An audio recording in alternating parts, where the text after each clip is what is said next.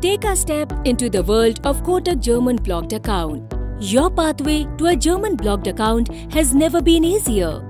Start by logging in to the German portal. From there, tap on the click here to send money now button. Attach your self-attested visa and immigration stamp. Next, select new beneficiary, travel for education and the EUR amount. Then simply click send money.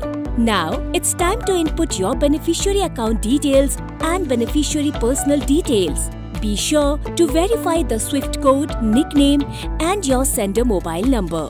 If you have undertaken any liberalized remittance scheme transaction outside Kotak, fill out the form and select I agree and confirm. Then, accept the terms and conditions and the LRS A2 form. Fill in the mandatory fields in the NRO declaration and click accept. Finally, confirm your booking.